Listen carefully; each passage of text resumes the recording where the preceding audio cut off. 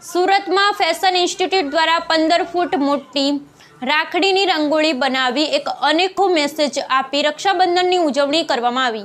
સુરતના fashion institute દ્વારા પંદર ફૂટ મોટી રાખડીની રંગોળી બનાવી અનોખો એક ખાસ મેસેજ આપી રક્ષાબંધનની ઉજવણી કરવામાં આવી.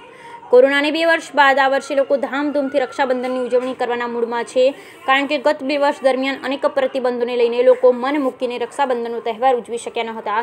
ત્યારે એક તરફ બજારમાં રાખડીની ધૂમ ખરીદી જોવા મળી રહી છે તો બીજી તરફ સુરતમાં ફેશન ઇન્સ્ટિટ્યૂટમાં ભણતા વિદ્યાર્થીઓએ રક્ષાબંધનની અનોખી ઉજવણી કરી હતી, જેમાં વિદ્યાર્થીઓએ પંદર ફૂટ મોટી એક રંગોળી બનાવીને પ્લાસ્ટિકનો એક મેસેજ આપ્યો હતો. વિદ્યાર્થીઓને રાખડી બાંધી હતી એ ઉપરાંત વિદ્યાર્થીનીઓ સમગ્ર દેશમાં ઉજવાતા રક્ષાબંધનના તહેવારને એક તાતળી બાંધતા હોય તેવી રીતે ગુજરાતી, પંજાબી, રાજસ્થાની, દક્ષિણ ભારત, પશ્ચિમ બંગાળ સહિતની મહિલાઓની પરંપરાગત વેશભૂષામાં તૈયાર થઈને આવ્યા હતા અને બદલામાં જે વિદ્યાર્થીઓને રાખડી બાંધવામાં આવી હતી તેમણે પોતાની સાથે ભક્તિ, આ બહેનોને ખાદીના થેલા ભેટ આપ્યા હતા. આ પ્રસંગે તમામ વિદ્યાર્થીઓ એક સૂર્યના પ્લાસ્ટિક તેવો મેસેજ આપ્યો હતો.